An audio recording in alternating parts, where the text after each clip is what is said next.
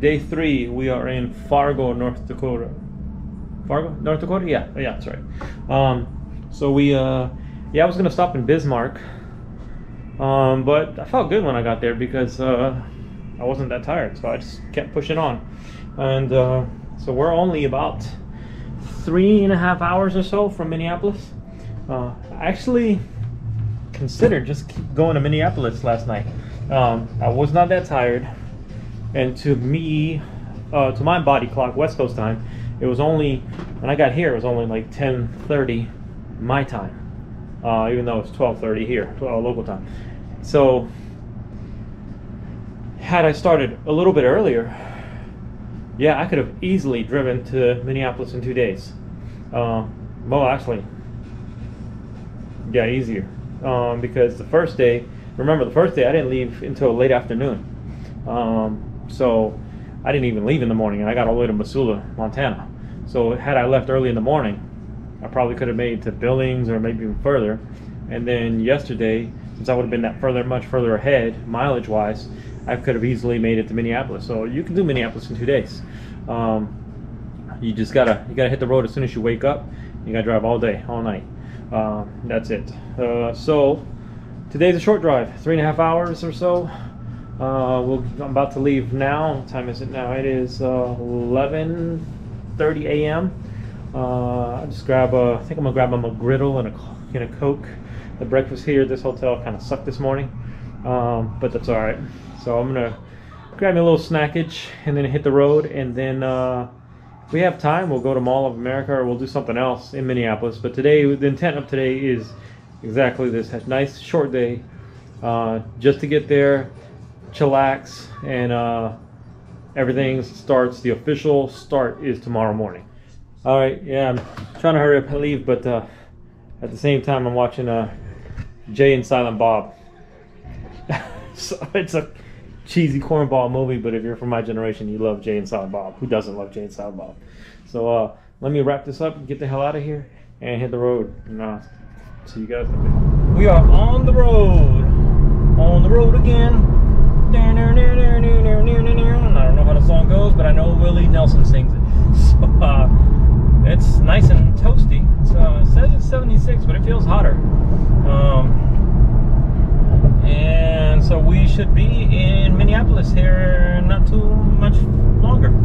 So let's go.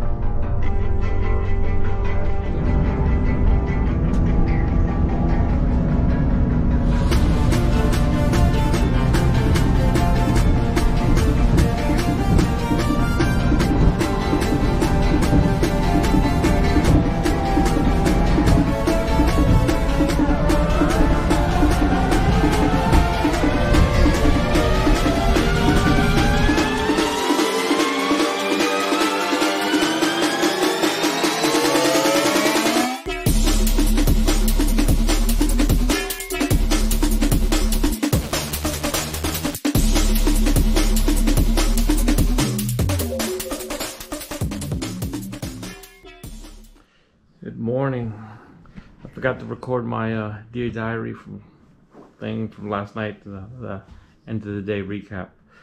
So I'll do it now. It's 5:45 in the morning.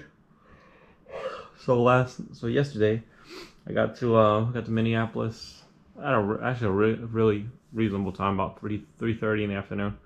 Um, checked in the hotel. I went and uh, I met with Auto Amateur in person and I went to his house.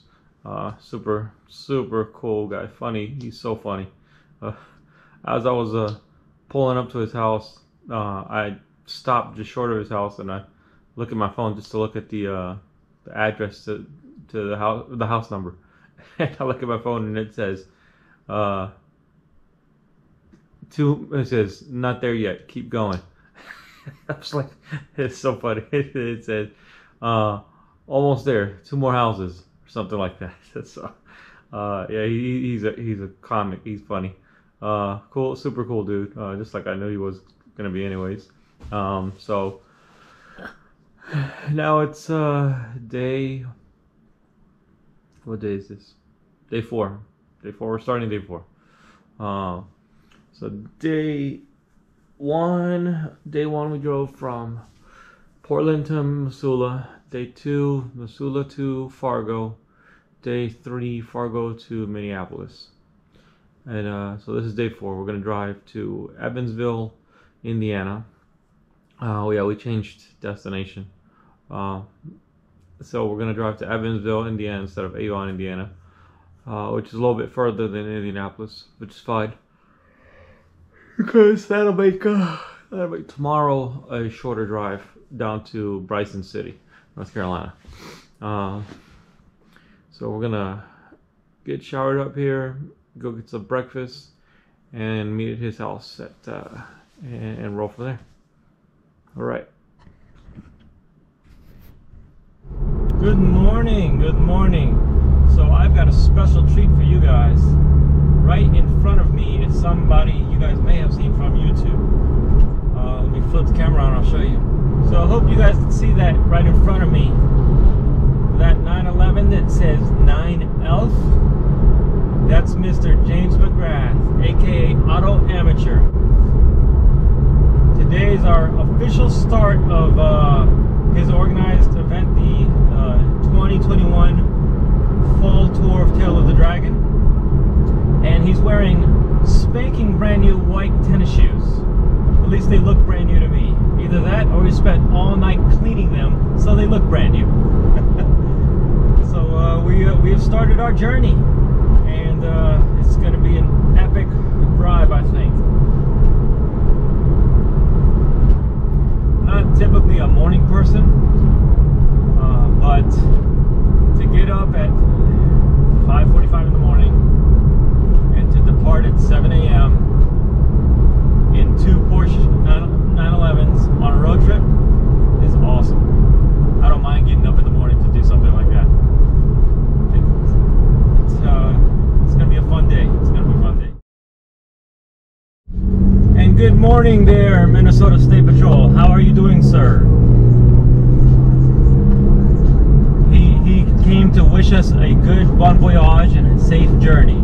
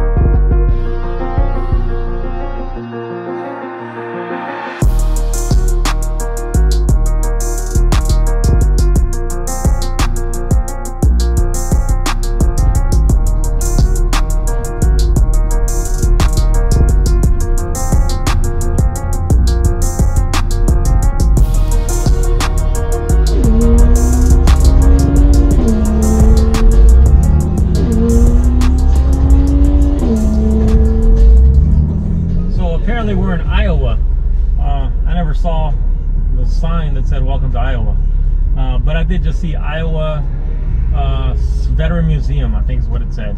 So I guess we're in Iowa now. Sure. Uh, but so far so good.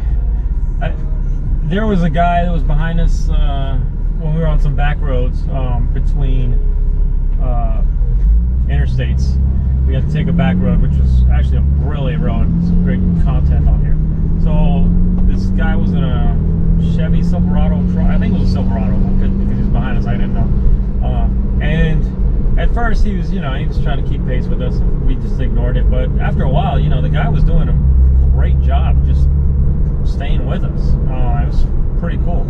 Uh, it was impressive actually to see uh, the speed he was going and that he was staying with us.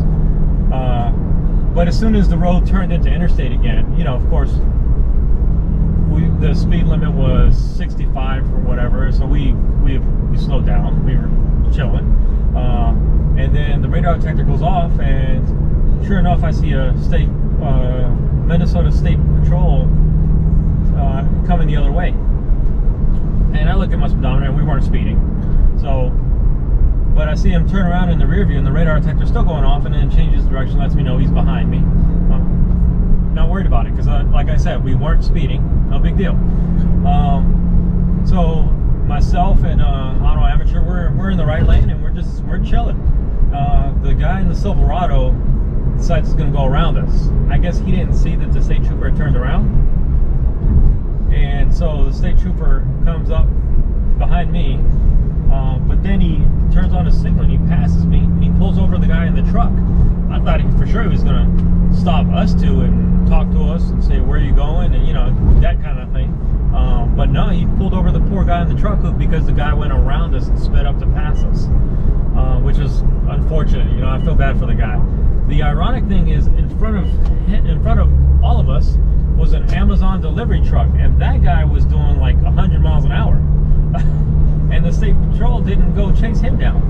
Uh, I I kind of think I suspect that the state police got a hit on his uh, radar from the Amazon truck. But then when we were in visual sight of him, he saw two Porsche 911s and his pickup truck. So when he turned around and then the pickup truck sped up to go around us, he probably assumed it was the pickup truck that was doing the speed. But it was probably the Amazon truck. So uh, if you're watching this guy in the Silverado, sun coming up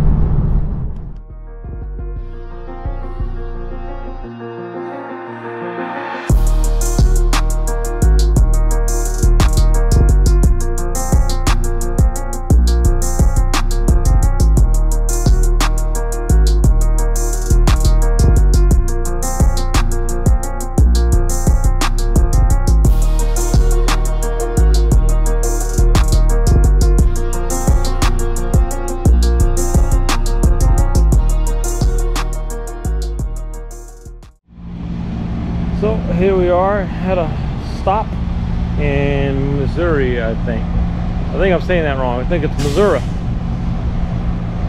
This is Auto Amateurs 997. I'm sorry, 991. Sorry. Ooh, I'm tired. I like his uh his setup with the suction cup. I don't know if you can see it. I might have to steal that idea from him. This is my beast. I have the 997. He's got the 991. We're making good time. Sir, how awake are you? Uh, like this way. Uh, it did look like a robot was driving your car a few times. Oh my god, I'm so knackered. I turned the radio on and off because I was like, is this, did the battery die? Did he go to sleep? yeah. No, just I don't know what's wrong with me. I had a good night's sleep as well. Uh, so did I. Yeah, I, slept, I slept like a rock. Um, but I, I'm feeling pretty good now. That's good. Yeah, like I was okay for a bit, and then I had an hour that was really bad. Yeah. I, like where I just wanted to pull over and go to sleep. and now I feel like let's get on it. Oh, now I'm gonna fall asleep because I got a slice of greasy pizza from Casey's. so in about 30 minutes, I'm just gonna be like, uh. All right, let's get it.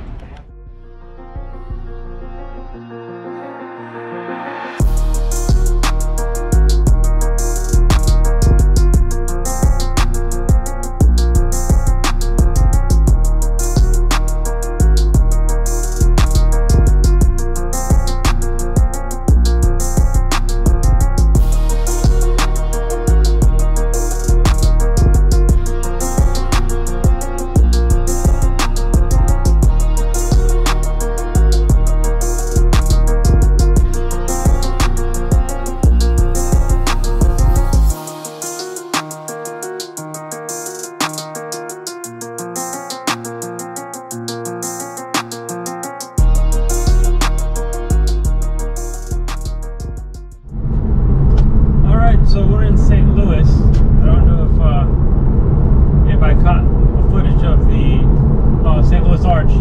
We took the bypass and went around it. Uh, and I'm glad, actually, I'm glad we did because traffic was starting to stack in, on the other uh, arteries around this road. And I can see, I can see that uh, if we would have went through the downtown right by the arch, it might have been a problem uh, for traffic-wise, anyways it's actually right behind me. I can see it in my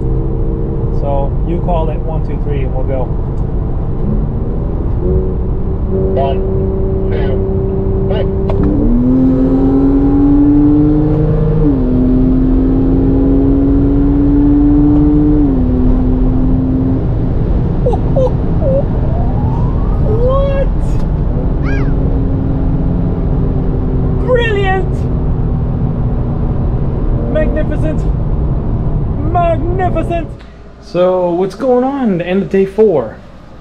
Let me try that again. That was. Hey guys, end of day four. We had a brilliant day of driving.